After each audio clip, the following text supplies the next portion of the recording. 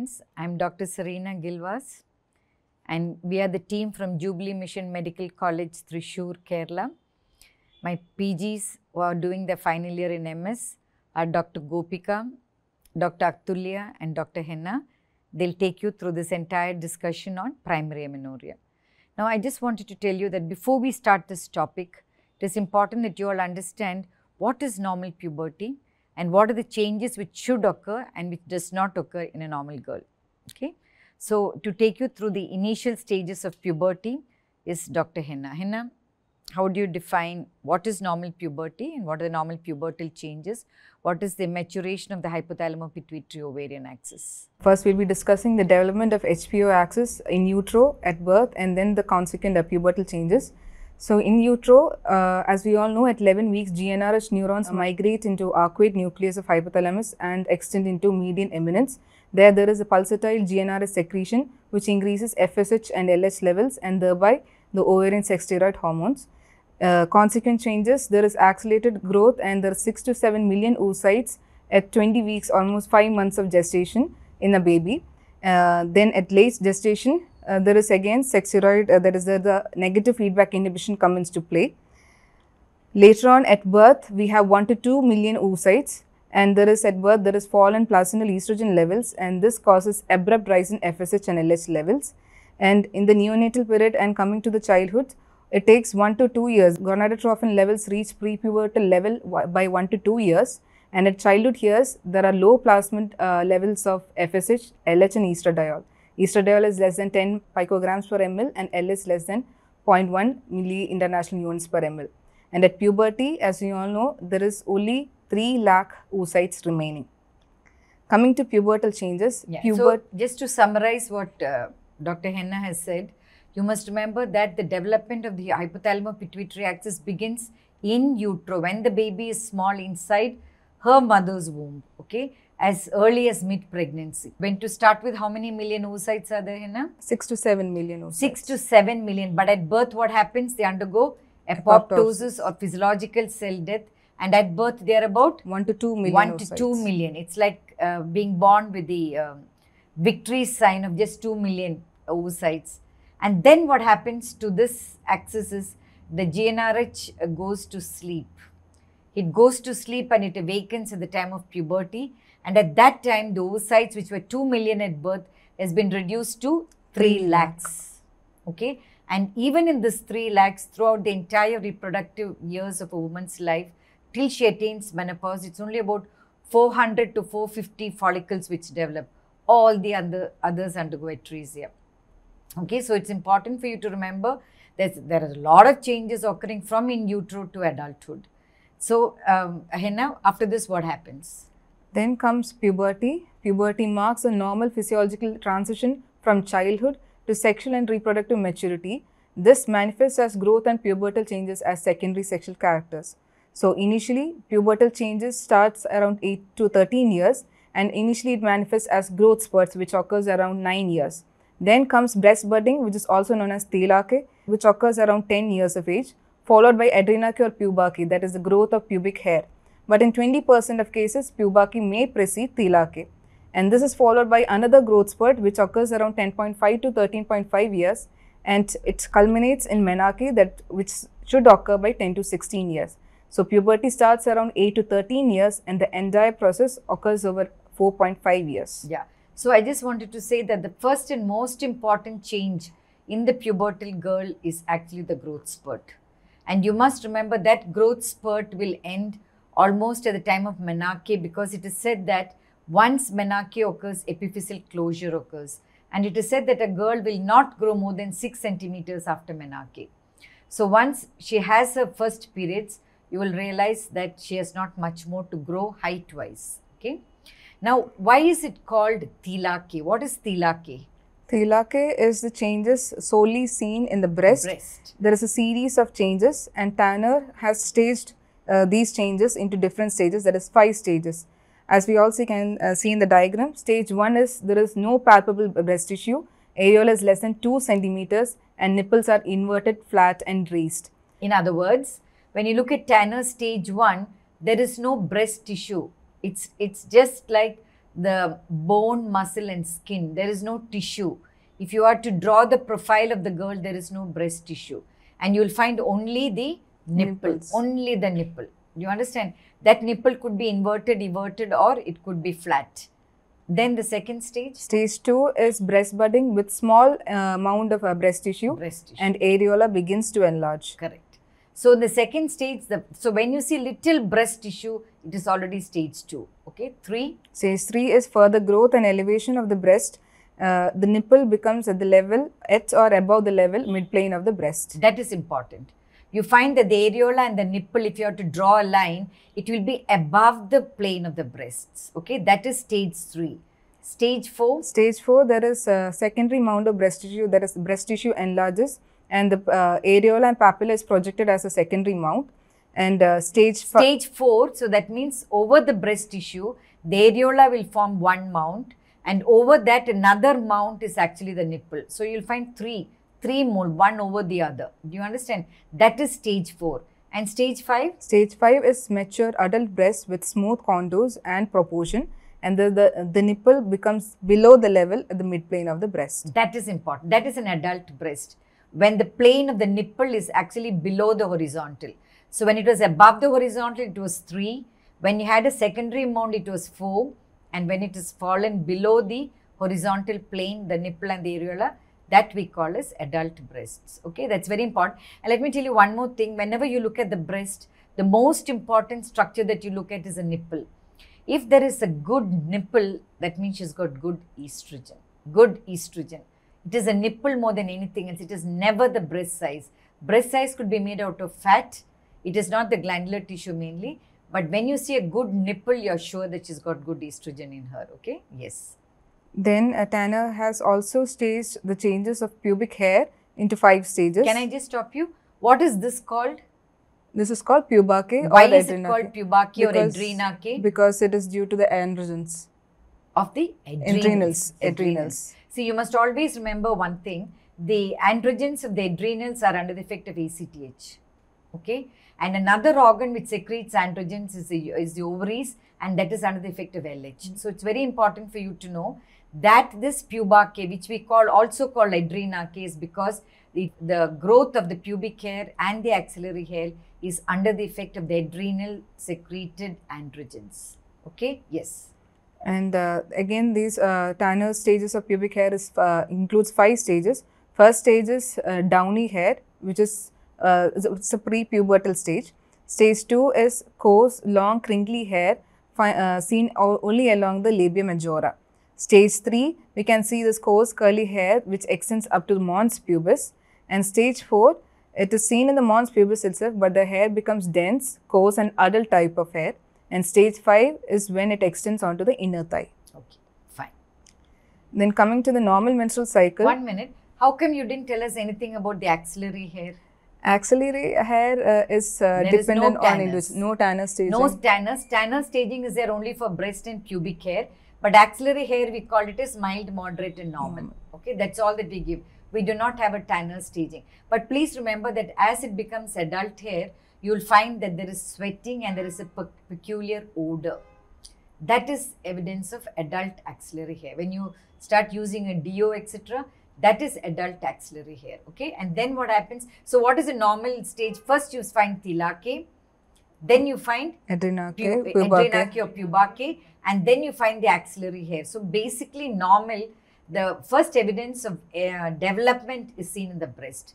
So when you see a girl who starts developing breast tissue, then you know that she is growing. Okay, because we do not get to see a pubic hair, which occurs next, and then only the axillary hair, and then after that you've got another Growth growth, spurt. spurt. and then only you've got Uh, menarche, menarche, which is the first periods. Yes.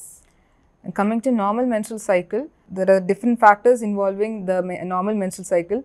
Environmental factors influence CNS inputs, and that stimulates uh, hypothalamus into pulsatile GnRH secretion. This results in uh, release of FSH and LH from the anterior pituitary. This stimulates the ovaries to produce estrogen, androgen, and the progesterone. Estrogen, uh, FSH uh, again creates a mature follicle, and estrogen secreted by the mature follicle stimulates LH, and LH peak cause, as we all know, cause ovulation, and ovulation results in corpus luteum, which in absence of pregnancy regress. Then the progesterone withdrawal results in menses. Yeah. So as Senna told us, the initial years are actually anovulatory. So that is why they most of the time they are painless. The cycles may be irregular. It doesn't matter. But it is important for us to know this chronological order. Do you know why? Supposing a girl comes to me at the age of 15 and she tells me that I have not attained menarche, okay? But when I look at her, she's got some breast development. She's got also a little pubic hair. So do you know what I tell her? You go and come back after a year. And maybe all the time I prescribe would be just a little iron tablet or something. Do you understand? She goes back and then after one year, she comes back and tells me, uh, Madam, even now I have not attained. So then I realize she's 16 years old. But when I look at her now, the tanner stage 2 of the breast has become 4. And the pubic hair tanner stage 2, which was there earlier, has become 4, almost 5. So now I realize that she's growing. So I tell her, it doesn't matter. You take my tablets for another 6 months to 1 year and by then you'll attain menarche. But do you think it's because of my tablets? No. I was waiting for the normal maturation of the hypothalamus pituitary ovarian axis because I knew that this is Tanner staging of the breast and first to develop is the breast and then the pubic hair and then the axillary hair and only then we should go for menarche. So about one and a half years after her first visit to me, she already attained menarche. You understand? That is the importance of knowing that uh, the stages of development are like this. Okay. So now she told you what exactly the normal menstrual cycle is. Now, when would you start investigating a girl for primary amenorrhea? Primary amenorrhea, uh, we have already you know uh, seen the timeline of uh, events, normal events. Yes. So when a girl comes to you uh, at uh, the 13 years of age without secondary sexual characters or at 15 years of age with secondary sexual characters, we evaluate for her. Because uh, at 13 age, uh, if there is uh, secondary sexual characters, according to the timeline, she is bound to have menarche in another two years or so. So by uh, 15 years, if she does not have menses despite secondary sexual characters, we evaluate then her as well. And in case uh, we uh, find uh, there is worrisome features such as uh, virilizing puberty or features like blind and vagina, then we don't wait for any of these. We evaluate her directly. Yeah. So that's very good to know that without secondary sexual characteristics, we can investigate them even earlier because we obviously see there is a problem. Okay. But when the going is good, you can wait like how I waited. You understand? Yes. Coming to the causes of amenorrhea, uh, it's broadly divided into four compartments. There is compartment one is uterus and outflow tract anomalies, which includes imperforate hymen, transverse vaginal septum, cervico-vaginal ag- uh, agenesis, Mullerian agenesis or anomalies, and androgen insensitivity syndrome. Can I just stop you? Yes, ma'am. So compartment one is actually the outflow tract and the uterus. The uterus is also included. So we have just taken in a very practical way what all we commonly see and that we have included in the uh, compartment one. Okay. As you rightly said, the commonest thing outflow tract obstruction would be Um, there is uh, im- imperforate hymen. imperforate hymen. This is commonly what we see. So in that order, and what is compartment two, Henna? Compartment 2 is ovarian dysfunction Yeah. that is commonly seen as uh, ovarian dysgenesis in form of Turner syndrome or Swyer syndrome or pure gonadal dysgenesis and Fragile X uh, syndromes. And So in other words, ovarian, Ovarian cause. causes. Ovarian causes compartment two. Compartment three, compartment 3 is anterior pituitary causes dysfunction and compartment 4 is hypothalamic uh, dysfunction and these are almost associated with together. So that would include pituitary adenomas, craniopharyngiomas and other causes of hypogonadotropic hypogonadism. Okay, fine. So you realize that when it's hypothalamo pituitary, she said rightly, the levels of FSH and LH are low.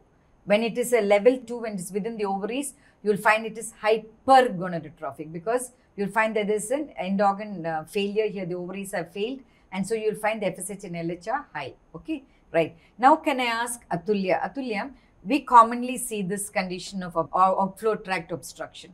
So, what is it which you have seen in your practice? Can you give us some guidelines? Mhm. Basically, the outflow tract uh, conditions are uh, imperforate hymen, transverse vaginal septum, uh, vaginal cervical atresia, and imperforate hymen uh, is mainly they present in the uh, pubertal phase with urinary retention or mass in the lower abdomen.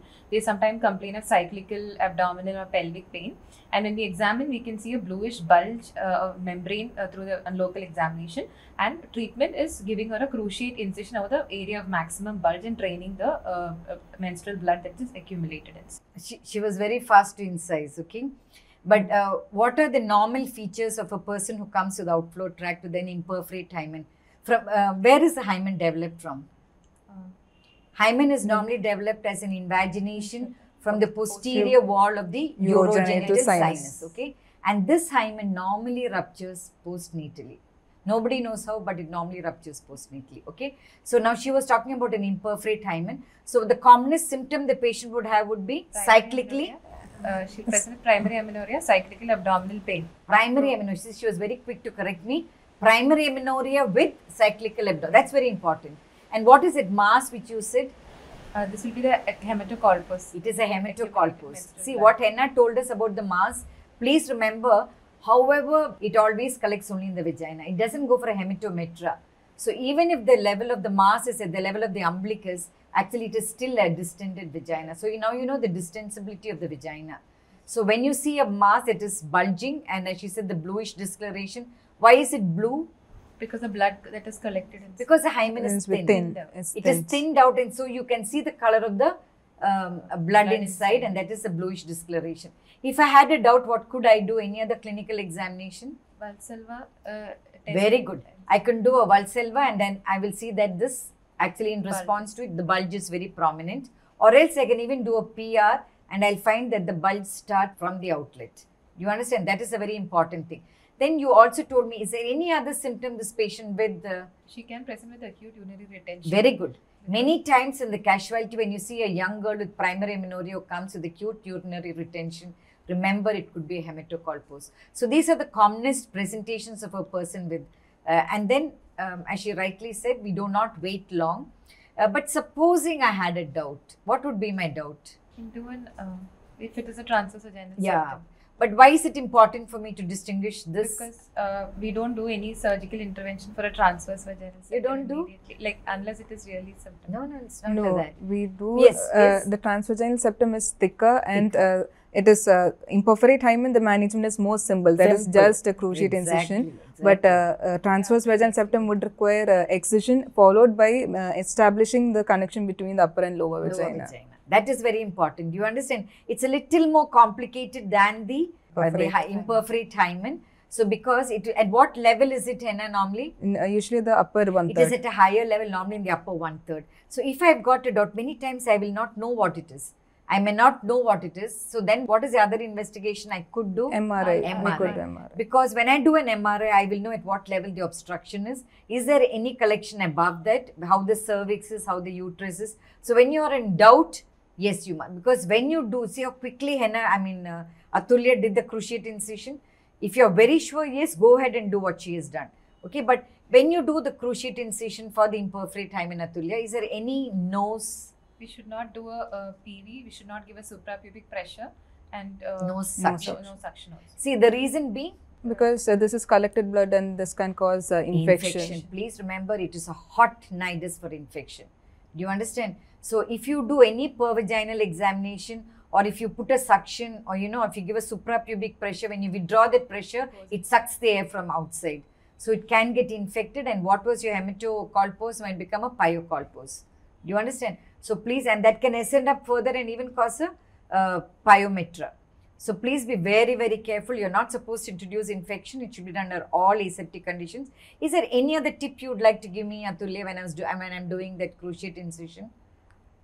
On the maximum bulge is where we have Very good, very good. And She can said extend it posteriorly. you put the incision and then you Mm, can snip off the, the tip edges, of the it doesn't edges. edges. Otherwise, it doesn't close back. We once had a person twice, thrice they had the incision outside and they came back with a recurrent hematocolpos. So, in order to keep that opening open, either you can cut off the tip or you can evert the edges a little and keep and then put one single stitch over that so that it remains open and continues to be open. And the normal post-operative care we give us, we keep the head end raised so that by gravity it just flows down. We don't, and we just ask her to use a uh, clean diaper and that's all the treatment that is required. Okay. So as she said rightly, transverse vaginal septum, you've got to make sure that that's the diagnosis. Probably I would ask for an MRI to make sure that that is a diagnosis. And then you would do it in such a way that you excise the septum. Here you are incising. You saw the difference? Here you are incising the imperforate anus, but in a transverse vaginal septum, you've got to excise that septum and bring about a continuity between the upper and the lower vagina. Otherwise, it will close off again or it will cause a stricture there. Do you understand? And further dyspareunia, etc. Yes. Can you have the next one? Uh, then there can be an isolated cervical or vaginal atresia, which is a failure of the urogenital sinus to contribute to the distal end of the vagina. Normally, the patient has an ex- a normal external genitalia and normal upper reproductive organs, and she presents with primary amenorrhea and cyclical abdominal pain. And we, uh, uh, on examination, we'll uh, see a hematocolpos when we investigate or a hematometra. And local examination sh- uh, will show uh, normal hymenal ring, no bulging membrane, and vagina is seen only as a small dimple. So, corrective surgery is very difficult uh, and their reproductive career is also not uh, very successful. Yeah, very correct. See, what actually happens is uh, you will get in this situation a hematometra. Then you may get a hematosalpinx. And many times they even present with severe endometriosis. Retrograde. And whatever you do, you can never keep that upper vagina and cervix patent. Whatever surgery, there are many people who have driven tubes through that and done many tricks under the sun. But many times, as Atulya said, you may land up doing a hysterectomy. Yes. Very unrewarding. What is constitutional delay? Um, Uh, constitutional delay is the most common cause of delayed puberty. This is when adolescents lack both secondary sexual characteristic and pubertal growth even by 13 years of age. So this is due to delay in the activation of GnRH uh, pulse generator and this is seen in families. It runs in family because the family history of delayed puberty is seen in the mother also. And here the characteristic feature is that the bone age corresponds to the developmental age and not the chronological age. And can you give me an example? uh, example, She's 15 years old. uh, she's 15 years old, but her bone age will correspond to 12 years 12 of years. age. Do you understand? It corresponds to a developmental age and not to the chronological age of 15. 15, Do you understand?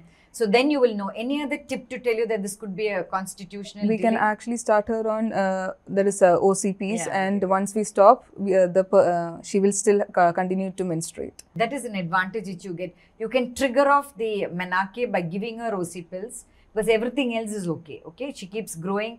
As you wait for some more time, she keeps growing. Very many times I tell you that my mother attained menarche only at 16 years, or my sister had it only at 17 years. That's a clue towards the diagnosis. And then you find that initially she has infantile features, but then she starts growing, and as she keeps mm-hmm. growing, you find that she slowly has got all the features. And then when you trigger off with an OC pill, later on she continues on her own. Okay, so it only requires the trigger. Yes. So with Now that we have done this constitutional delay, we'll just go back to a few case presentations, right? Okay, Henna, will you give us a case? Yes, ma'am. Uh, first, uh, I'm presenting a case of Mrs. Miss Yu, a 19 year old girl hailing from Palakkad, uh, doing her BCom second year, accompanied by her mother, belonging to low socioeconomic status. She complains of failure to attain menses. History of presenting illness She is a 19 year old girl who presented with complaints of failure to menstruate till date. She gives history of pubertal changes, that is, enlargement of breasts from 13 years of age and growth of pubic and axillary hair also from 13 years of age. There is no history of any cyclical abdominal pain or urinary retention so far. No history of any acne, excessive hair growth, or deepening of voice or Can hair loss. you? Yes, ma'am. Uh, so why do you think she took this long to come to you, 19 years? Maybe because she got her uh, pubertal changes Yeah, she got her pubertal changes. So she did not think that she should come to you. She thought probably she'll get menarche on her own. Okay. And why did you ask a history of uh, acne and hirsutism? acne. Uh, What ran through your mind? Uh, that is early onset PCOS. Very ma'am. Good. So you Shows thought of whether it could be because normally PCOS gives rise to secondary amenorrhea, but sometimes in some people it can be an early onset PCOS. Yes. What else did you ask for, Henna? uh, deepening of voice or hair loss. Uh, no history of any. But uh, do you get that much of uh, androgenic features in PCOS? No, ma'am. Deepening of voice or hair loss is seen in uh, virilizing feature, and it's seen uh, usually in uh, uh, congenital uh, adrenal hyperplasia or the partial AIS, that is androgen insensitivity syndrome, like Or else in Uh, androgen? uh, androgen secreting, secreting tumors. tumors of the uh, say I told you androgens are only two sources either it's the ovary or it's the adrenals so it could be some androgen secreting Tumors, tumors of the adrenal gland adrenals. but I'll, uh, let me correct you in one thing hair loss can also occur in PCOS Okay. when the androgen levels are high so in PCOS we can get hirsutism acne and hair loss Male pattern. but yeah but you will find that uh, and that hair loss may not be alopecia Mm. but there can be excessive hair loss when there's alopecia what is the type of uh, alopecia you get in PCOS temporal uh, male the pattern. frontal line is preserved. line. That is important. In a PCOS patient, the frontal hairline is preserved. There could be a temporal, uh, hair loss. Do you understand? Right. What's the next history you asked? No For? history of uh, headache, vomiting, or uh, visual disturbances. Why? Uh, to rule out CNS tumors, ma'am, which may affect the hypothalamus pituitary axis. No. Uh, CNS tumors, which may affect the hypothalamus pituitary what axis, tumors? like pituitary adenomas, craniopharyngiomas. Yes, certainly. So you will have to ask for anything, which any space occupying lesions there also, which can give rise to headache, visual disturbances, and uh, uh, most important, a headache, vomiting. So that tells you there could be some space occupying lesion. Then No history of any fatigue or palpitation. No history of any cold or heat intolerance. why? This is to rule out uh, thyroid disorders. Okay, very good. So in what type of thyroid is it? Uh, in uh, uh, hy- hypothyroidism, uh, Especially primary hypothyroidism. They can present with these features. Very good. Very good. no Then no history of any weight gain, loss of appetite, eating disorders, or excessive exercise. why? Eating disorders like anemia, uh, that is uh, nervosa, and uh, bulimia can cause uh, actually hypothalamus uh, dysfunction. So anorexia nervosa and bulimia. So, but remember one thing: most of the time it occurs with and causing a secondary amenorrhea, because you must remember that whenever there's any eating disorder or anything like that, it is normally a hypothalamic cause. You understand? So you can normally it causes a secondary amenorrhea. Very good, because she's already 19 years old. Good enough, right? no history of any swelling in the groin. No history of any discharge from the nipple. No history of loss of smell perception or hearing loss. Can you tell me why you asked all this? No history of swelling in the groin because descended testis can be lodged in the inguinal uh, Very canal. Very good. Uh, any uh, no history of any discharge from nipple. Like seen in uh, seen in androgen insensitivity syndrome. Yes. Uh, no history of any discharge from nipple to rule out uh, galactorrhea that is in hyperprolactinemia. But what is the normal combination with prolactin?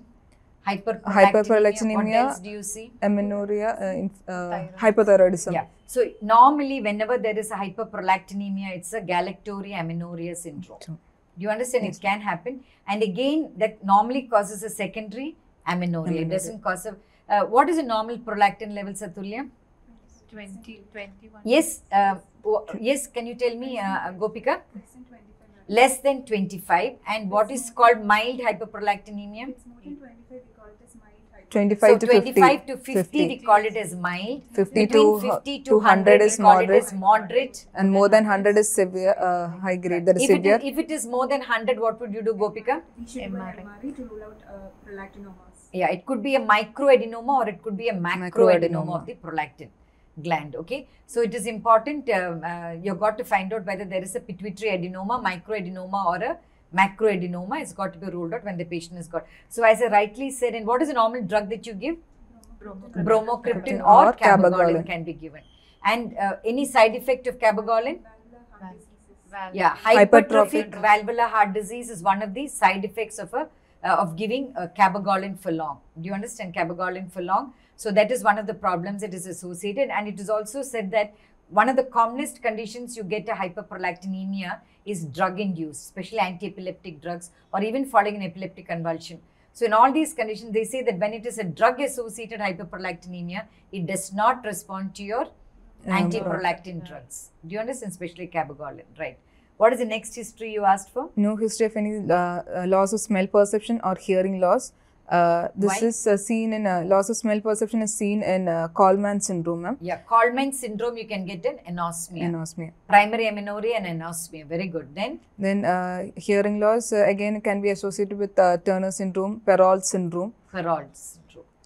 No, Then we will tell you what that is later on. Okay. So you'll find gonadal dysgenesis and a, sensory neural def- deficit. So that's what you find in a Perrault's. So these are the some of the histories that you should normally be taking in a case of primary amenorrhea because we're trying to come to a diagnosis what the possible cause could be. Right. there is no history of any trauma to head or brain infections in the childhood.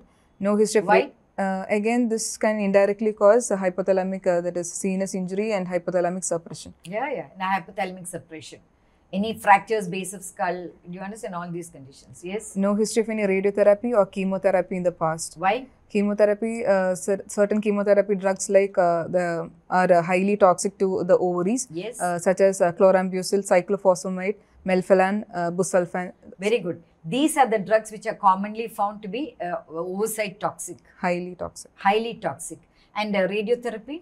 Uh, radiotherapy uh, because uh, uh, more than uh, two rads itself uh, can cause Directly to the ovary. directly to the ovary can cause premature ovarian insufficiency and uh, more than 40 years uh, more than 6 rads can cause ovarian failure as such Yeah. That is one of the reasons why we always try, whenever there is a radiation to the pelvis, we try to protect the ovary by keeping them at a higher level to reduce the direct radiation. Okay, right. Next. coming to birth and developmental history she is born of non-consanguineous marriage term institution vaginal delivery she had a birth weight of 2.8 kilograms and sex at birth was female. There was no history of any developmental or mental abnormalities. She had average scholastic performance no history of any childhood illnesses. Coming to past medical and surgical history she's a known case of hypothyroid on uh, thyronorm 50 micrograms daily. No history of any diabetes hypertension heart disease or seizure disorder. No history of any childhood tuberculosis or mumps. No history of any surgeries in the past. Coming to family history her mother attained menarche at the age of 14 years she has a younger sister 12 years of age and she has a younger brother as well there's no history of any mental retardation or autism in family no history of primary amenorrhea in the family no history of any What is the condition which can cause primary amenorrhea in families? that is uh, syndromes like fra- fragile X syndromes, androgen insens- uh, insensitivity So syndrome. AIS, fragile X, all this runs in family. So you must get a family history. No history of any genetic disease or congenital anomalies in the family. Personal history is within normal limits, mixed diet, good appetite. She has adequate sleep, bowel and bladder habits are regular, and no addictions. Okay, good. Coming to general physical examination, patient was examined after getting consent for examination. Moderately built and nourished and cooperative. She has a height of 155 centimeters, weight of 50 kilograms, and BMI of 22.2 kilogram per meter square. Arm span is 152 centimeters. Can I just stop you? Yes, What is the relevance of height, arm span? What does it tell you? Uh, height, uh, short stature, uh, amenorrhea with a short stature can be seen in syndromes like Turner syndrome and also in pituitary dwarfism.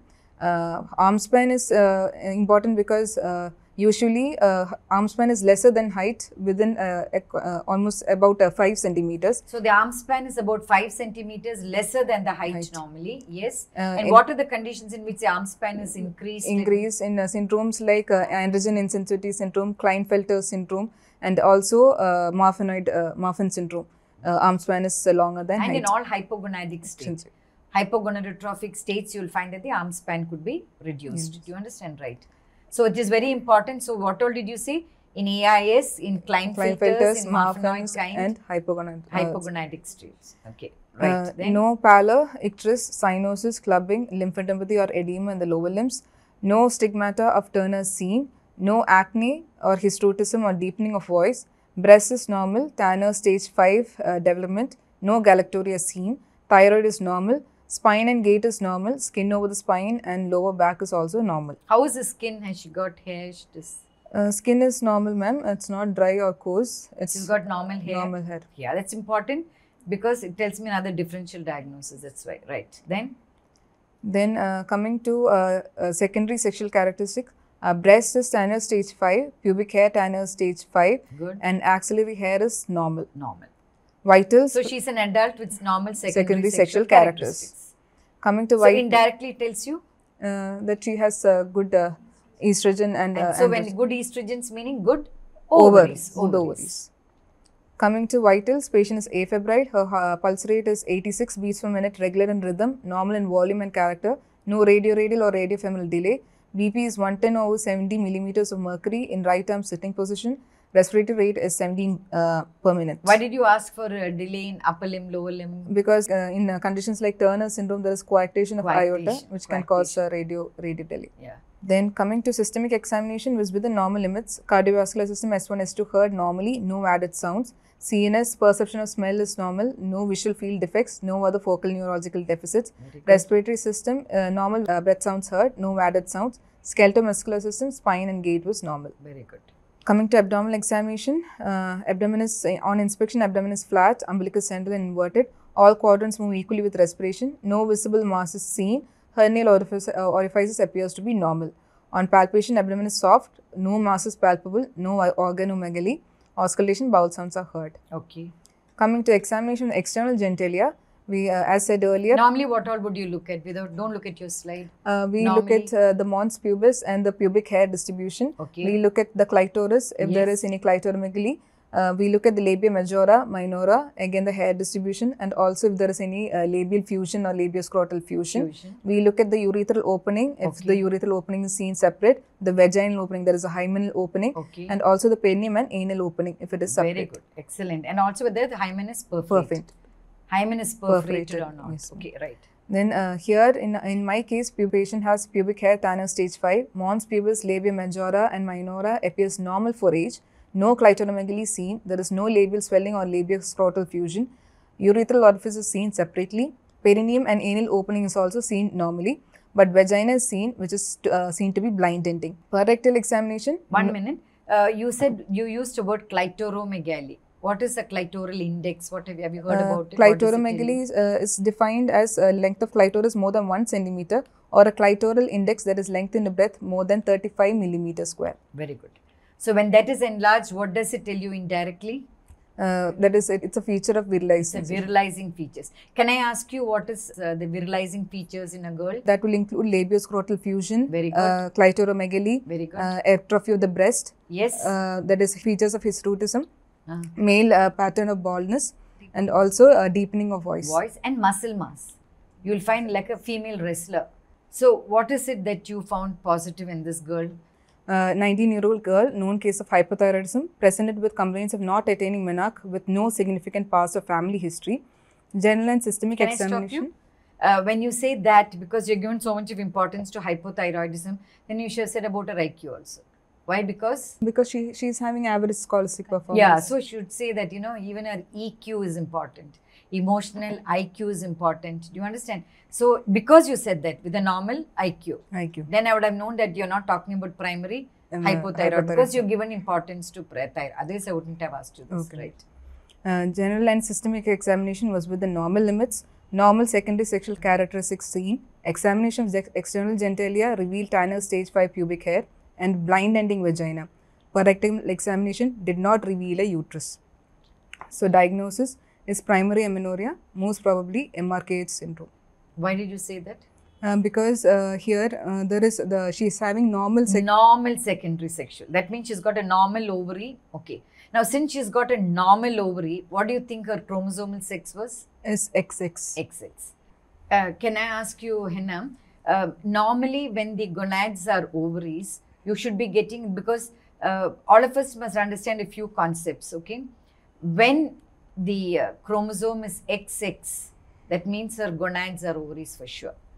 And if the ovary has developed well, that means she's got two X's. So this goes without any uh, problem.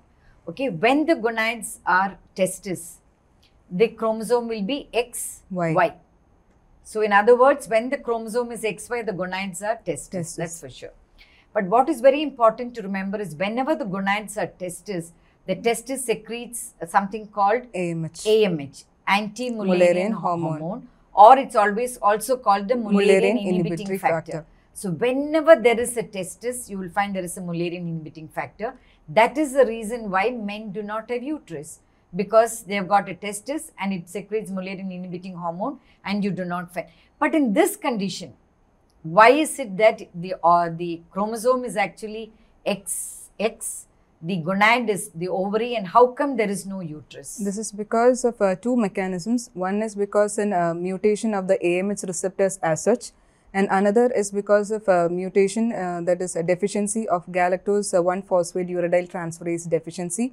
This causes uh, galactosemia, which itself suppresses the development of uterus. uterus. So actually, we do not know the reason, to tell the truth.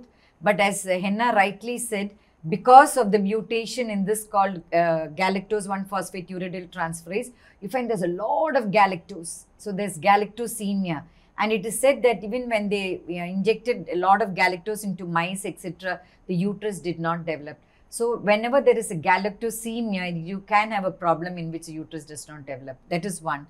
And as you rightly said, it could be due to a mutation in the AMH AMH. receptors.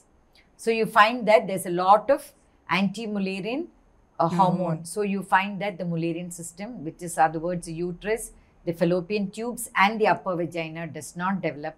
So then what is this blind vagina which she's got from where does it develop? It develops from the urogenital sinus, ma'am, because uh, uh, the upper vagina develops from the Mullerian system and the lower vagina, distal one third, develops from the urogenital sinus. So there will be uh, 1.5 to 2 inches of uh, dimple of vagina left. Correct. So the entire Mullerian system has not developed. All what is developed is only from the urogenital sinus.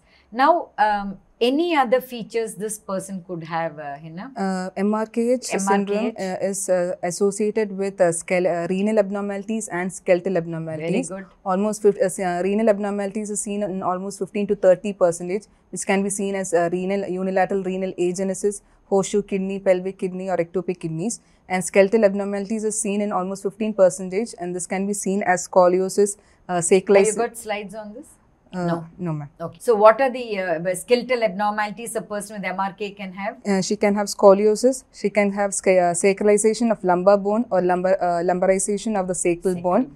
Uh, and also, uh, this is associated with uh, a syndrome called also Klippel-Feil syndrome, which is uh, associated with uh, hemivertebra and neurological deficits. Almost in uh, common, it is seen uh, Mullerian agenesis is uh, related with renal dysplasia, cervicothoracic somite dysplasia as well. So commonly you find in what percentage of cases do you find a skeletal abnormality? 15 percent. 15% renal abnormalities? In uh, almost 30 percentage. it's almost 30%. You understand? So it is important that when you see a person with a blind vagina and a uh, person who's uh, tall with secondary sexual characteristics, etc., remember to check out her skeletal system, check out her spines. You can check out her pelvis, find out whether she's got any other problem.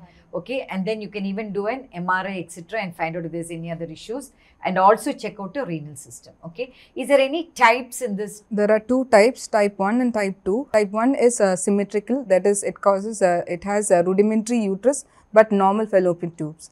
And uh, type uh, B is, uh, ty- type 2 is uh, asymmetrical, that is, it has a rudimentary uterus along with abnormal fallopian tubes. And the second one is more associated with uh, renal and uh, skeletal abnormalities. abnormalities. But can you tell me something about that hypoplastic or asymmetrical uterus? There will not be an endometrial lining. There will not be. So it, there is no way of it responding to any kind of hormonal changes. Do you understand? So they won't. That's why it is called infantile or rudimentary uterus.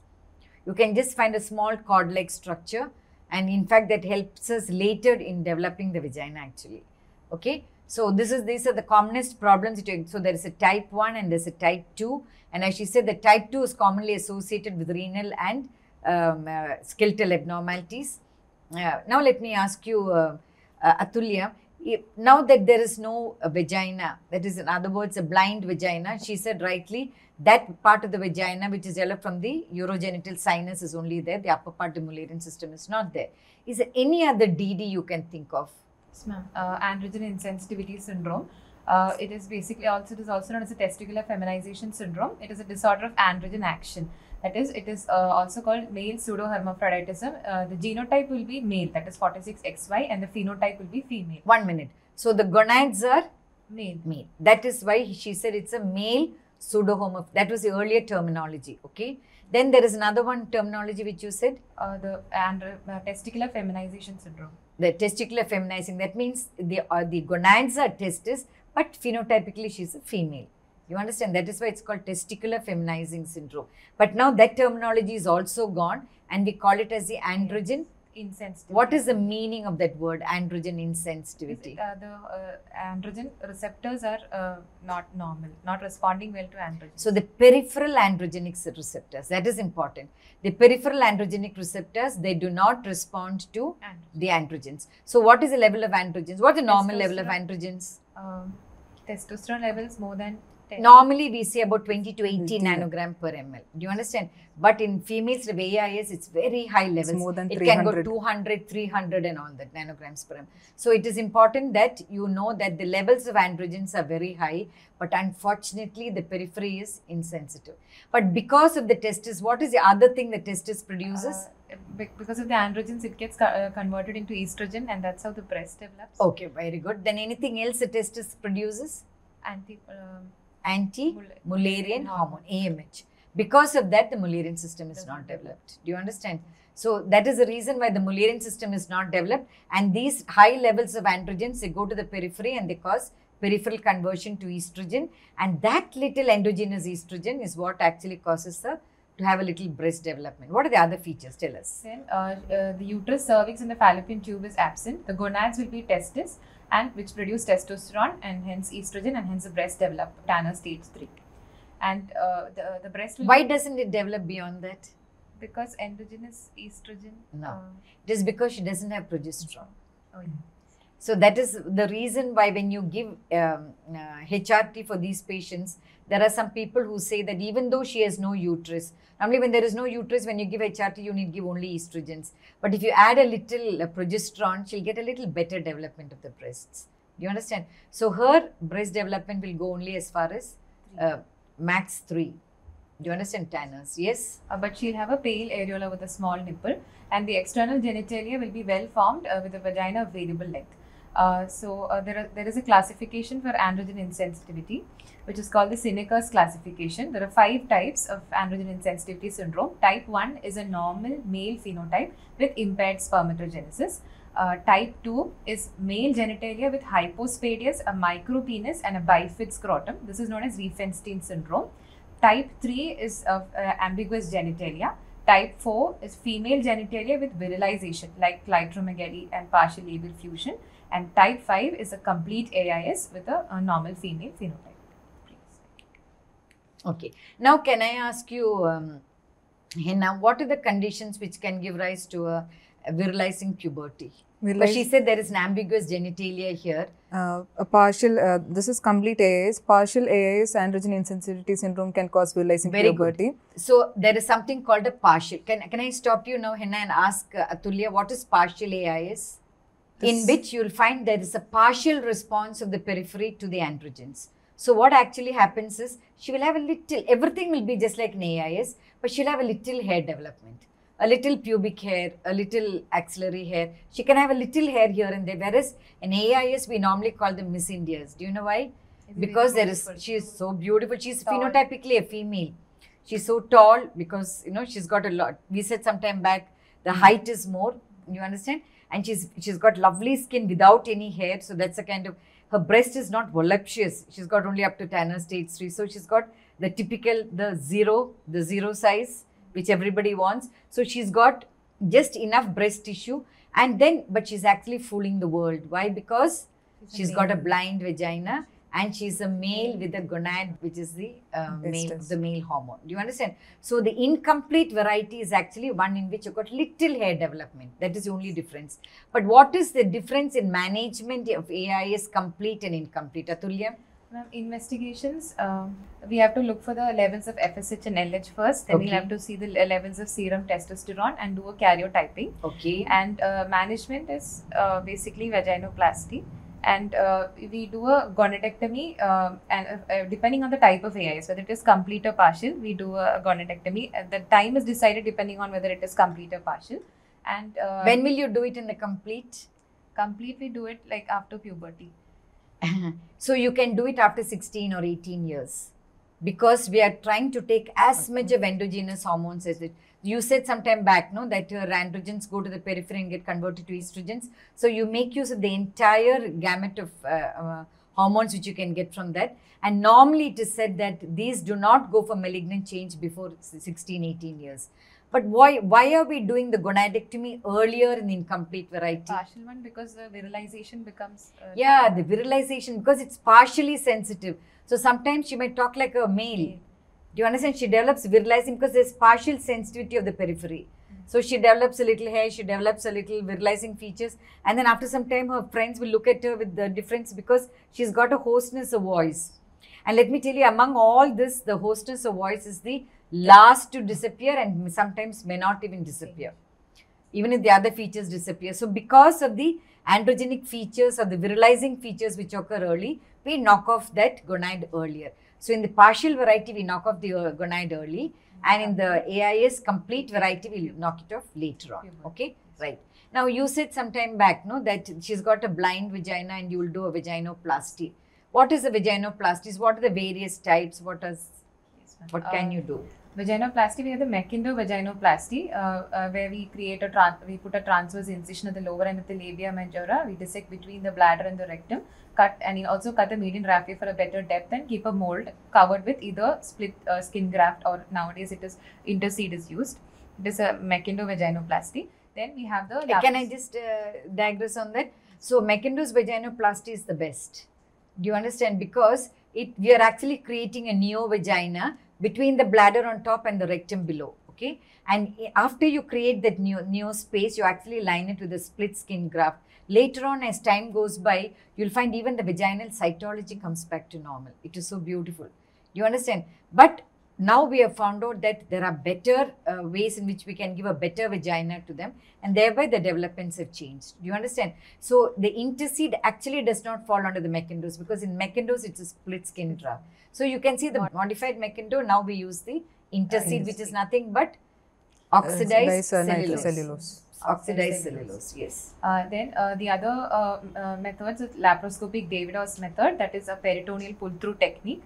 Then there is a Wertsch's operation, that is laparoscopic pull-up, that is a sphere connected to metallic wires and it's pulled up. Then we have the ileal vaginoplasty and also the Williams procedure, that is just suturing the labia together to create a pouch leg structure. Among all this, I will tell you that they, they say that the I've never done it. The ileal vaginoplasty gives very excellent results. Formerly, they were using a part of the colon, but what happened with that was infection was there and there was a lot of discharge. discharge. So now they say that they get good results with the ileal. Well, we have been now doing the laparoscopic approaches and we are quite uh, getting used to it and we are quite happy with the results we have got with it because the depth of vagina is so good with that. You understand? And what is the next you said? Williams. What is Williams? That is uh, uh, approximating the labia together and creating a pouch-like structure. So it just it's so simple. You just create on small little blind pouch. Just suture the labia together, okay? And the Frank's dilatation, Uh, that is serial uh, dilatation, dilatation. Yeah, there are people who use they use uh, stationary bicycles, and then they've got a mold on it, and they sit on it, and you know for uh, thirty minutes a day, and they see it produces a very good vagina. I have seen people who have who have come not with sitting on these, but they have used molds because they were so frustrated after marriage, not knowing what is wrong, and they produced excellent vagina. So I believe that if the Frank's dilatation, if you could use, you can get a good depth of vagina. So these are all the various methods. So basically, when we go to manage any primary amenorrhea, the first question we ask is, can she menstruate? Can this woman of yours menstruate? We should counsel them about their menstrual, reproductive, and sexual functions. That is the three three things you'll have to discuss or counsel them with. Yes. So can she menstruate? No, no. she. She can never menstruate. Two.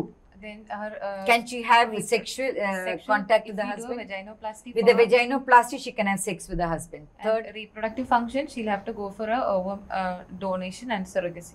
Oh, that is very good. So she can donate her oocytes and go for surrogacy. Now today, what is the best option which your Uterine person? transplant is Yeah, also a uterine transplant can be done. You can send them to Puntambekar and you'll find that he can do a uterine transplant, but the queue is very long.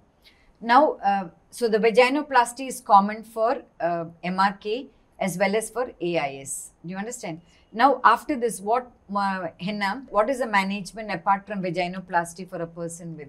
Uh, in MRK syndrome, uh, first uh, uh, that is uh, vaginoplasty addresses the issue of uh, sexual function for the patient.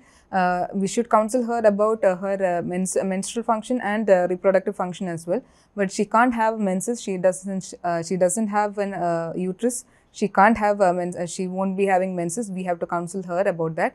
And about reproductive, since she has normal ovaries, she can go for donor oocyte. That is, she can donate her oocytes and opt for surrogacy.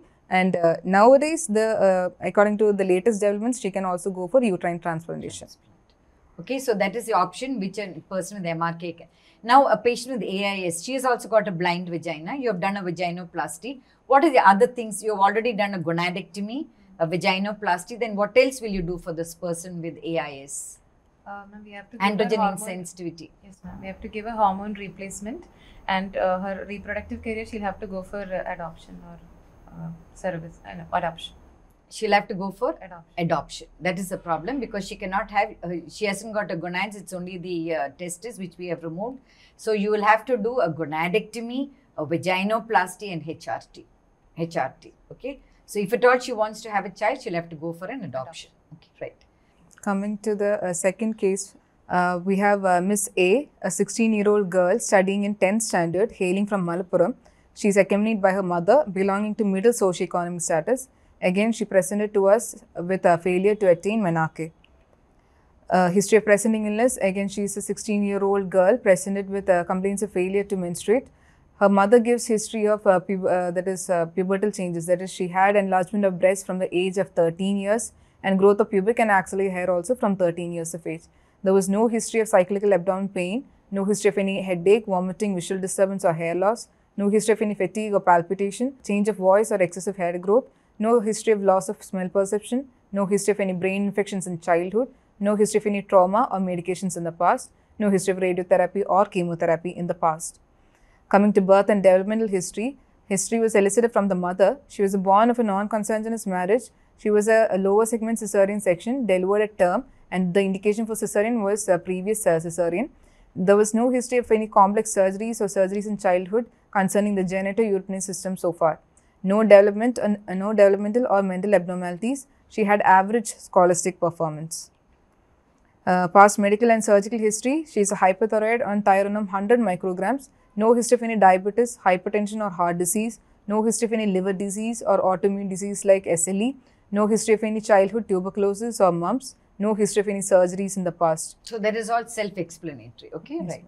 Coming to family history, again, her mother attained uh, menarche at the age of 14. She has an elder brother and he has normal height and IQ. No history of any primary amenorrhea or gynecological malignancy or genetic disease or congenital anomalies in the family. Coming to personal history, it's within normal limits. Coming to general physical examination, patient was examined after getting consent for examination. She is moderately built and nourished and cooperative. Her height is 135 centimeters, weight of 45 kilograms, BMI of 24.69 kilogram per meter square. One minute. So what is it that you have noticed so far? Her height, she's short stature. She's short.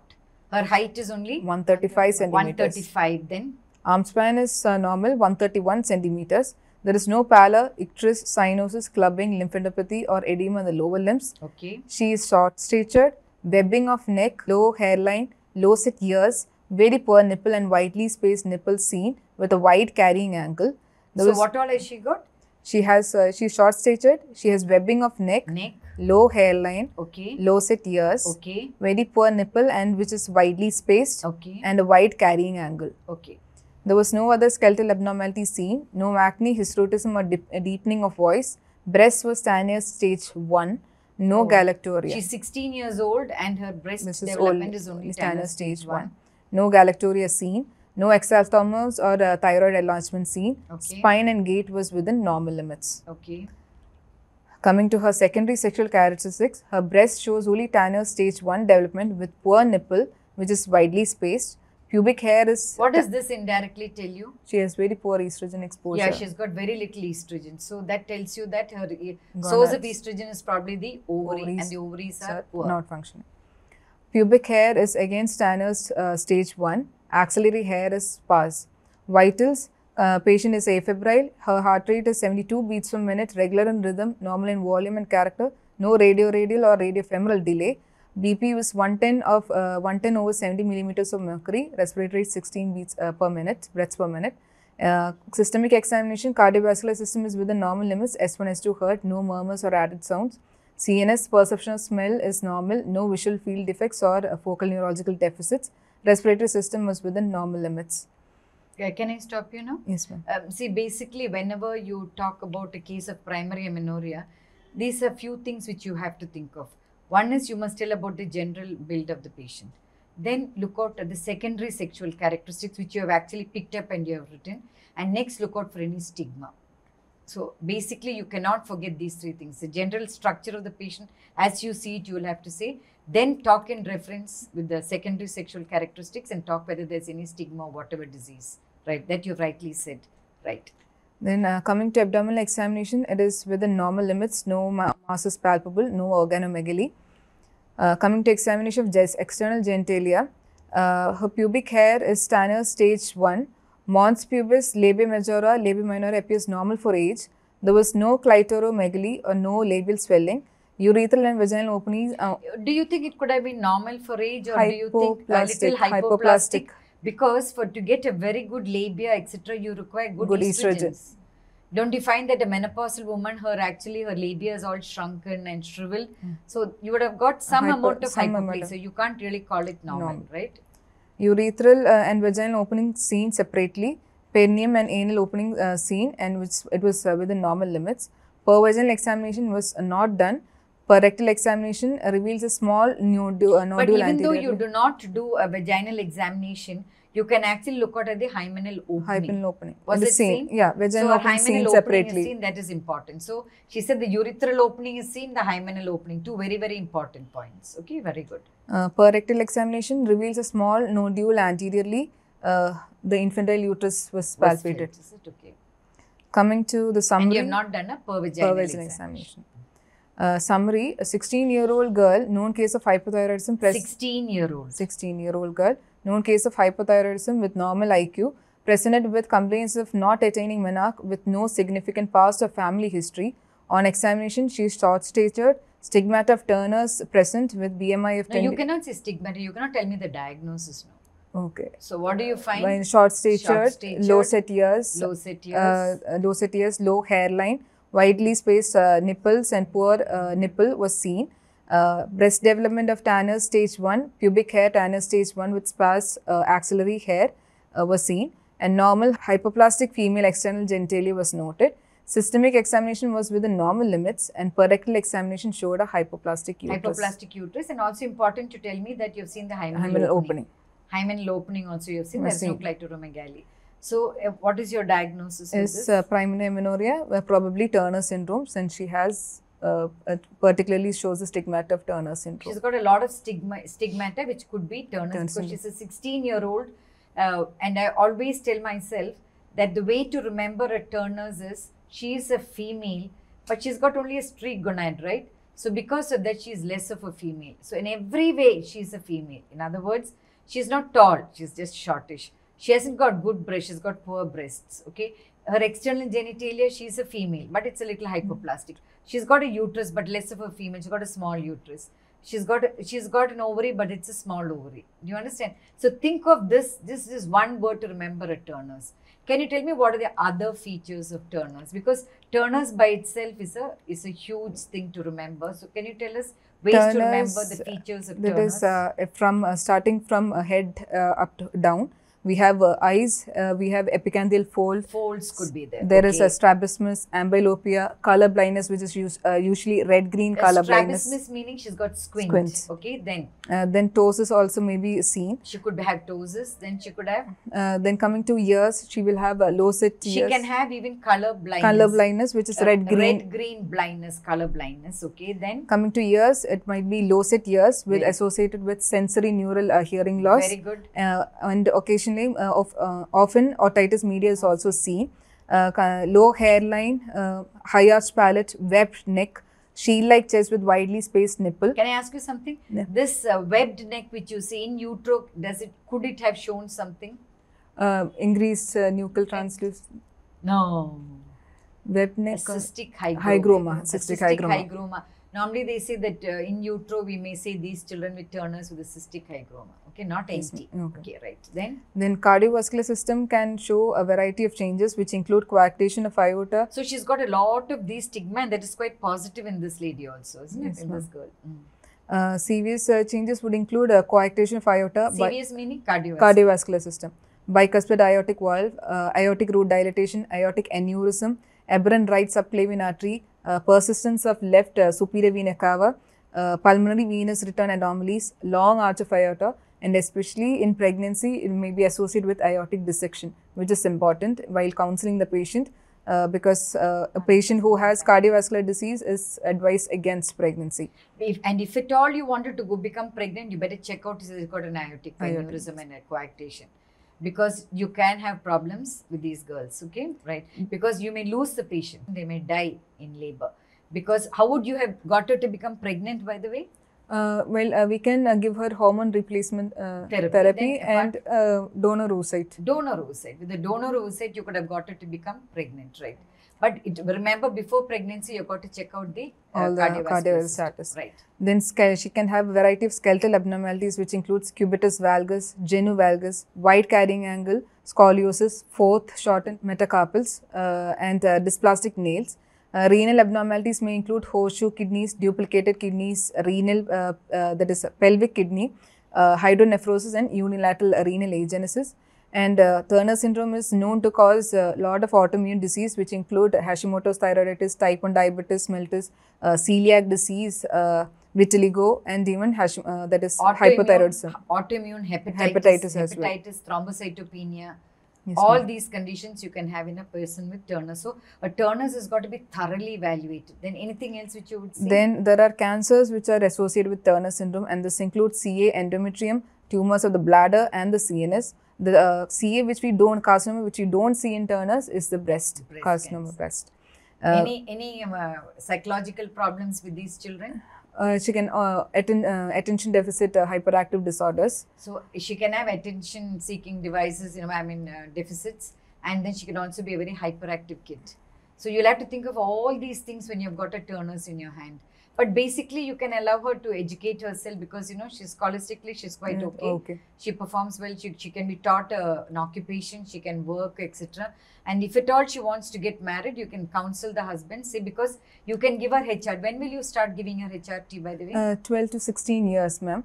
Uh, the, the HRT includes. Uh, I agree with you. yeah. It should not be started before 12 years. Yes. It should not be started after 15, 15 years. years. Okay. So the ideal time to start HRT and what would you give her to start her on? We give her uh, natural estrogen, that is uh, uh, conjugated equine estrogen at a dose of uh, 0.3 to 0.6 milligrams over 6 months, or we can give her uh, estrogen, that is estradiol valerate, which can be given from a dose of 0.5 to 1 milligram. Very good. And this is usually estrogen alone is given initially for the the first natural estrogen. natural estrogen for the first 2 to 3 years or until the first vaginal bleeding is seen.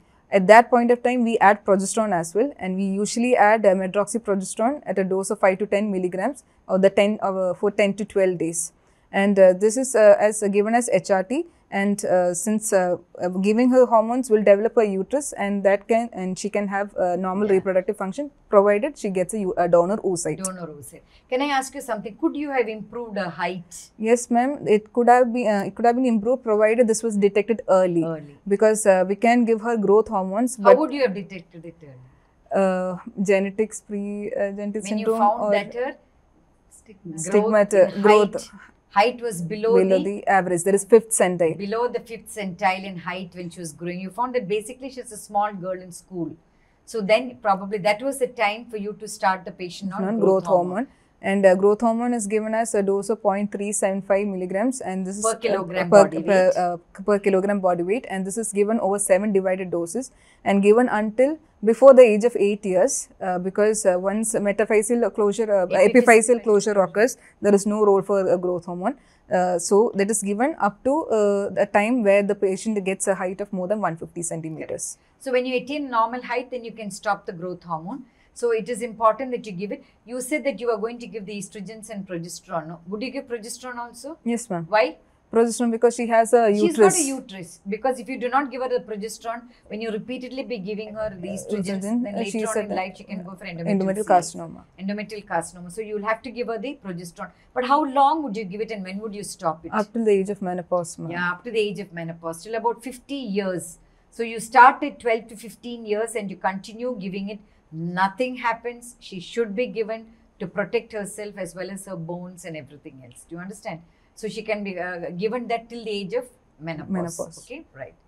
Um, now that we have finished, the, is there something else which can mimic uh, a Turner's? Uh, Yes, ma'am. yes, uh, Gopika. Uh, there is uh, gonadal dysgenesis, uh, which is uh, sim- which gives almost similar picture.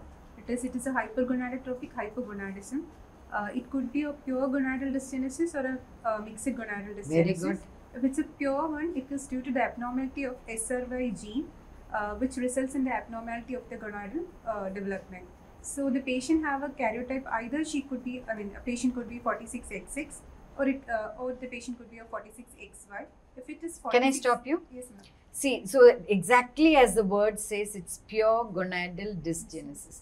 Pure gonadal dysgenesis. Pure gonadal dysgenesis. Now, when you say that two, three times, you'll understand the meaning of what I'm trying to tell you.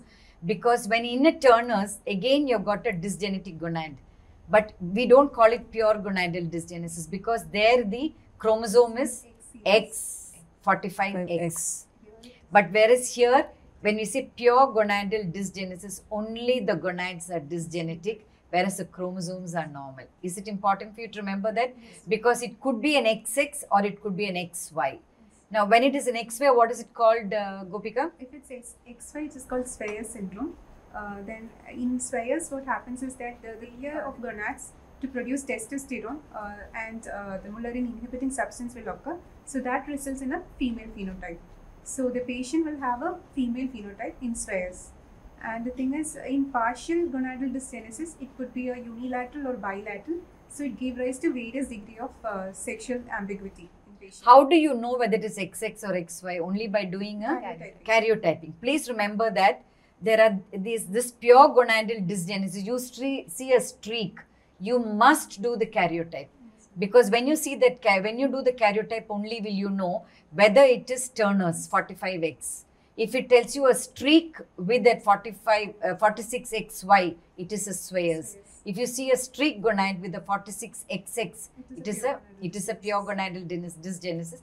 Do you understand? But why is it important for you to pick up these Swyers? Because if it's if there is Y chromosome, there is a high chance that there is a testis, like uh, a dysgenetic testis, and we have to go for a gonadectomy. Gonadectomy. Otherwise, what will happen? Yeah, she can go in for a malignancy in that streak gonad. Even if it's a streak gonad, you got to. So also in a Turner's, there is something called a mosaic Turner. Mosaic Turner in which some cell lines could be Y.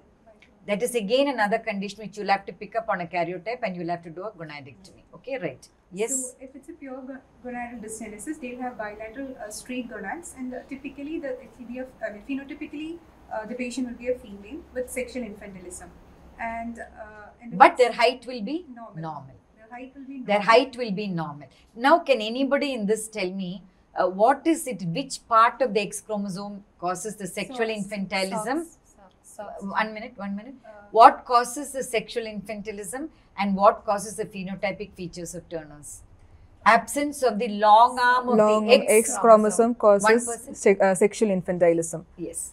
Absence of the long arm of the X chromosome will cause sexual, Sexual infantilism. and, And absence of the short, Short arm arm of the X chromosome will cause the phenotypic, phenotypic features, features. of, of Turner's. Do you understand? So it's important for us to know where exactly we stand. And I kept on repeating the word pure gonadal dysgenesis because there the chromosome is normal. But we must know the chromosome because that whether to remove the gonad or not.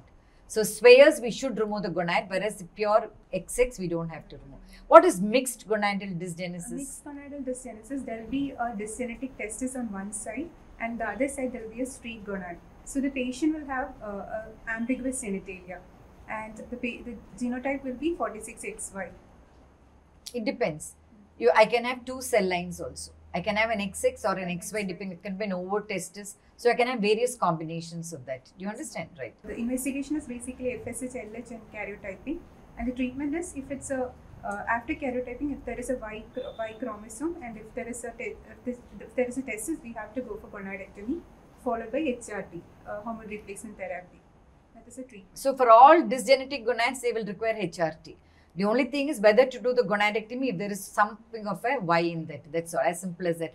But important to remember that they may have sexual infantilism, but they will have a normal height. So in a mosaic Turner as well as in pure gonadal dysgenesis, the height is normal. There may be sexual infantilism, but the height is normal. Okay, right.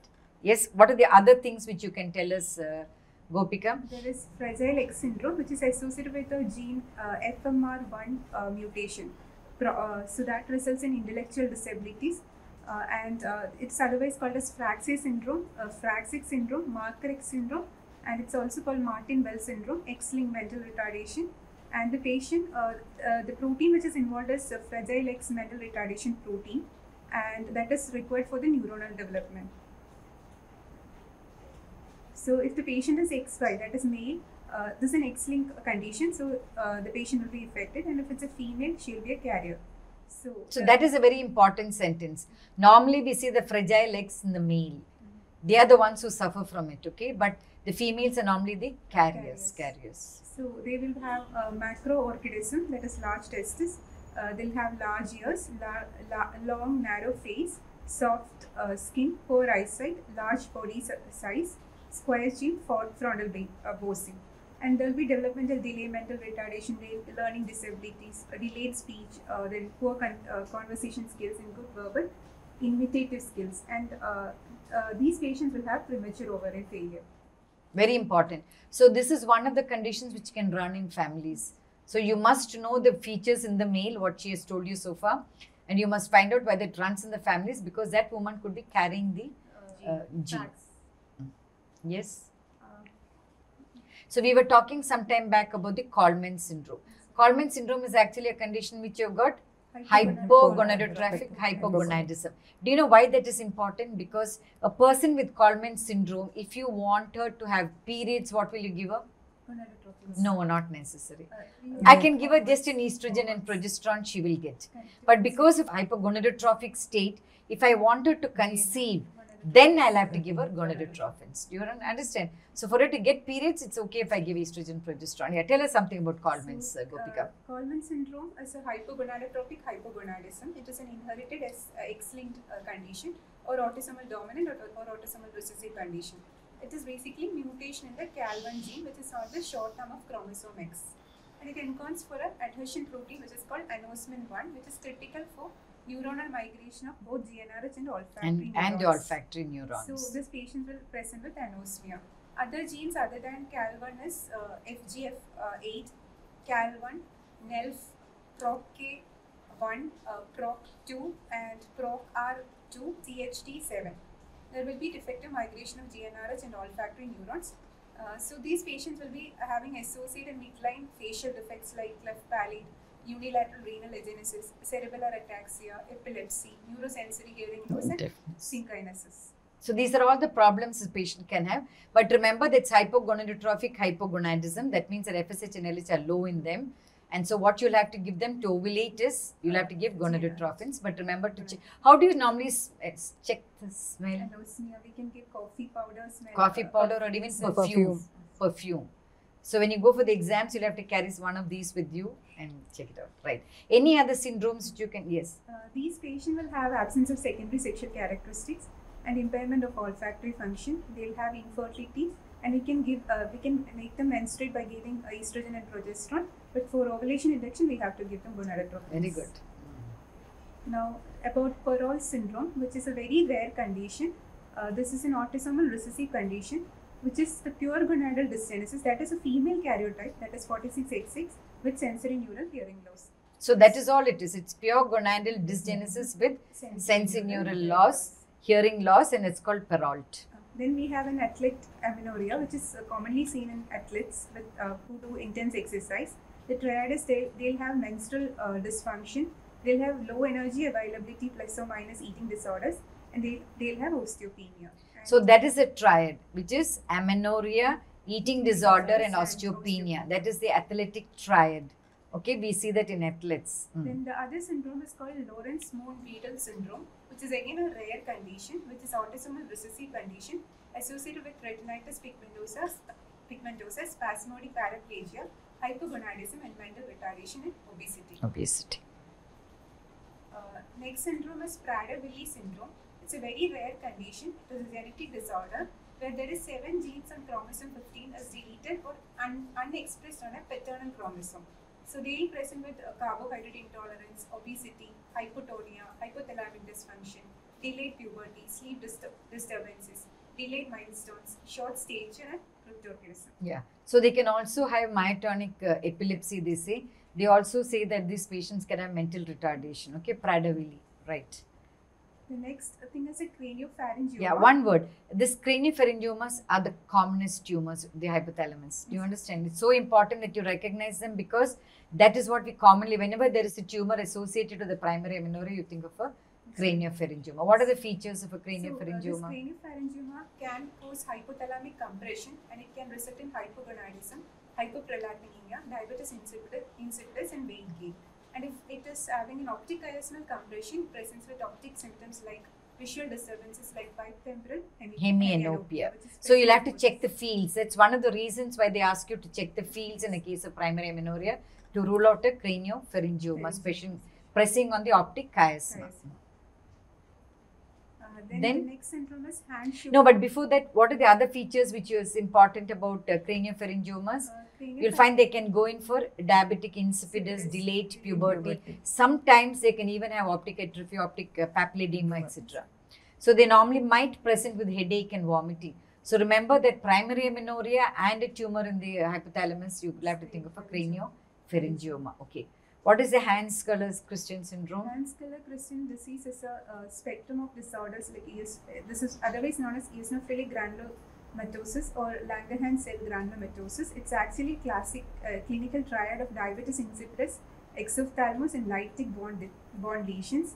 Uh, so we do MRI to find out the lytic bond lesions, and also the findings include expansile lytic bond lesions, thickening of pituitary stalk, hypothalamic mass, meningeal enhancement, etc. This uh, there will be hypothalamic mass, so there will be uh, some involvement of the hypothalamus, and therefore the patient can present with hypogonadism. Uh, diagnosis is by biopsy of the bone lesion. And it's important when you see a person with delayed puberty, with lytic bone lesions and diabetic insipidus, etc., you'll have to think of And those, though rare, you'll have to think of a Then skin. uh, we'll see this Marfanoid habitus with uh, so many uh, conditions. Uh, it, it has an association with per, syndrome, and it is also seen with other uh, conditions of hypogonadism. If I ask you which is the most important androgen in the body, Uh, five uh, hydro. Uh, Dihydrotestosterone. Okay, what are the other uh, androgens in the body? Uh, that is uh, D- uh, androstenedione, DHEAS, uh, testosterone, uh, which is converted to dihydrotestosterone. DHEA, DHEAS, androstenedione, and testosterone. and And the most potent is dihydrotestosterone.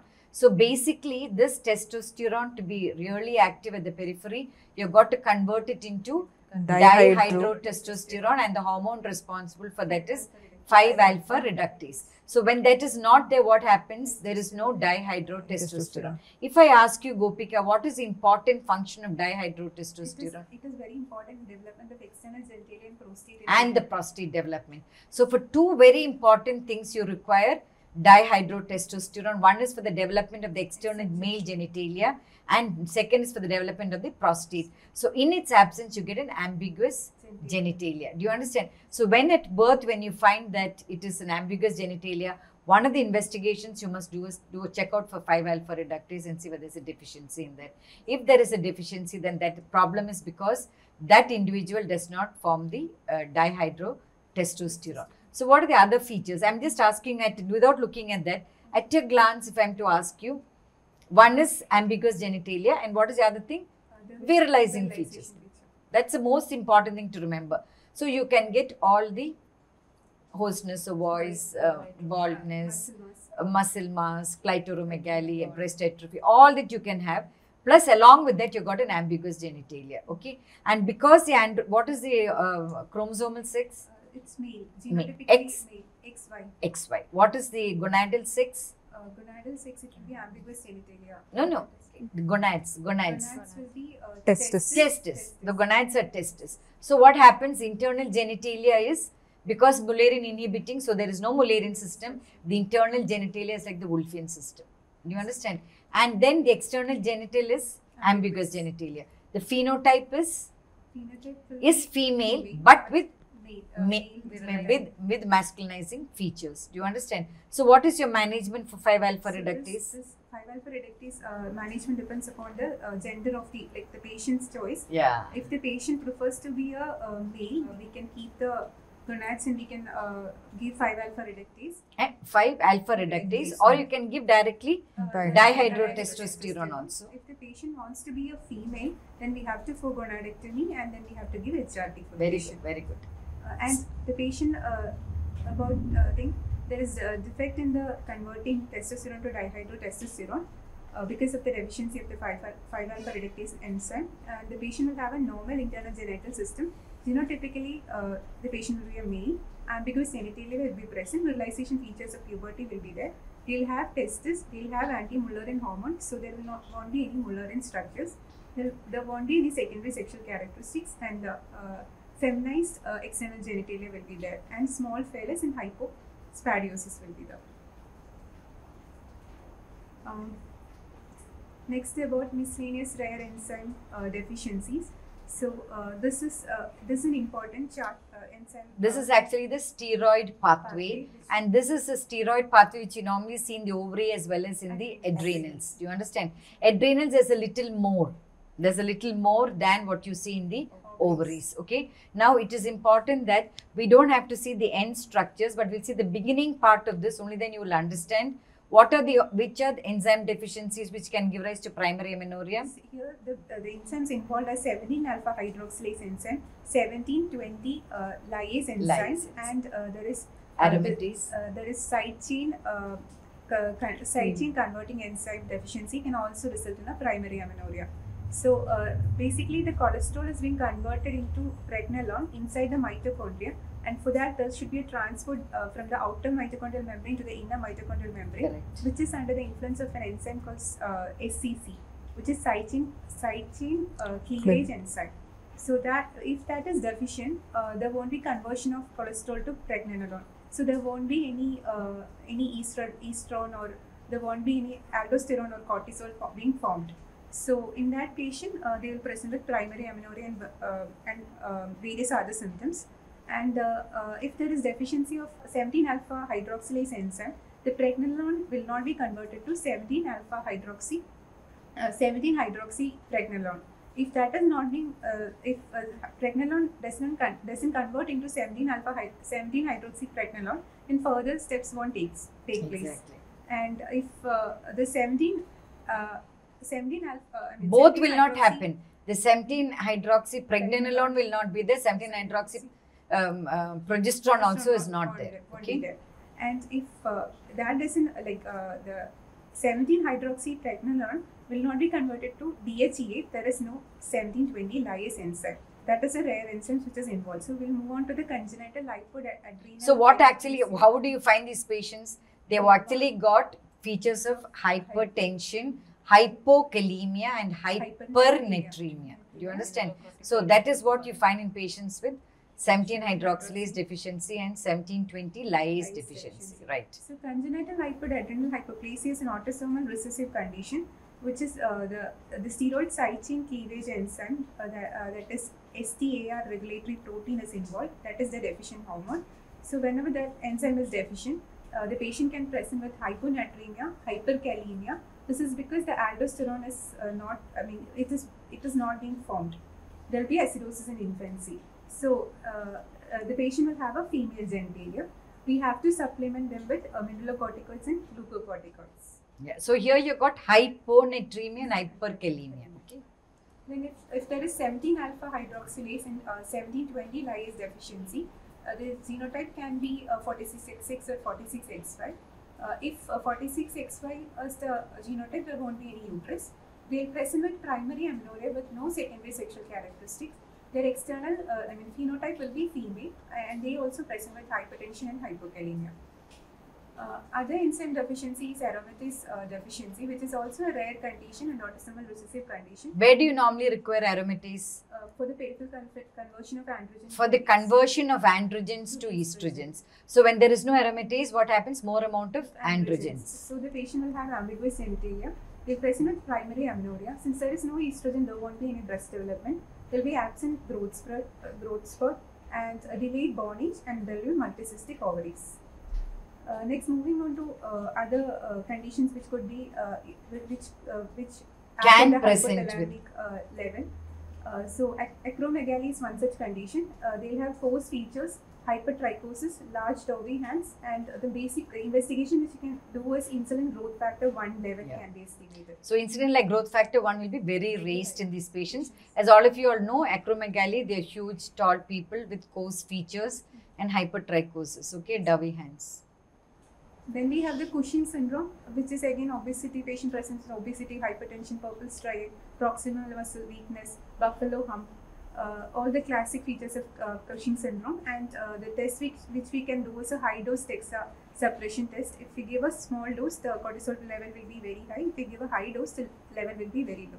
That's how we differentiate. And apart from this, the patient will also have features of hypertension, um, you've got hirs- hirsutism, etc., proximal muscle weakness, purple striae, and things like that. Uh, but now that you say purple striae, uh, Atulya, uh, what are the skin changes which can be from which you can pick up a case of primary amenorrhea? Ma'am, in the skin, we have to look for features of uh, hyper and hypothyroidism. That is, the skin can be cold and clammy or it can be dry.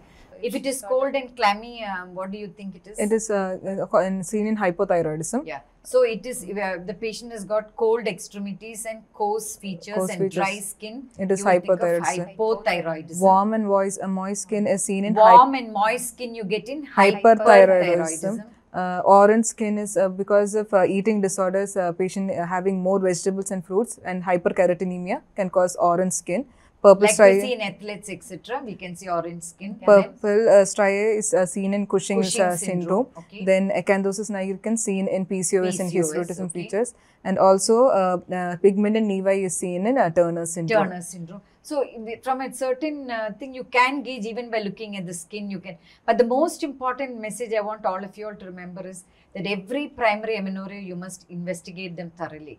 Get a very good history from the patient. See whether it is primary or a secondary because we have not dealt with secondary amenorrhea here. We have talked only about primary amenorrhea. And in that investigations, when you do, I told you about the uh, general examination of the patient. I said, look at the general examination, look at the secondary sexual characteristics, and look at the stigma. So, also, I'll tell you three things you should remember when you do the investigations. Three very important investigation. One is the karyotype. Next is the gonadotrophin level, and third is imaging. So, please remember that. So, if I'm to sum up, uh, what you should be doing, investigate them properly, get a good history, okay, and the investigations. And in that investigations, three things you must do for everyone will be a karyotyping, an FSH LH to know at what level that is, and the third thing is an imaging. Depending on what level you want imaging, whether just an ultrasound, whether you want an MR, whatever, whatever.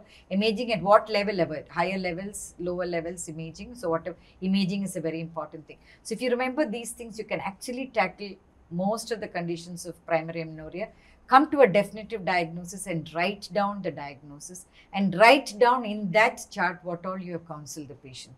That she will not have menstruation, she will not have childbirth, that she can uh, do the following like a donor oocyte or surrogacy or adoption, whatever. You must write down your advice because later on they will come and implicate that you did not tell them anything. So that's very important that you do everything and write down all what you investigate until you come to a definitive diagnosis. Okay.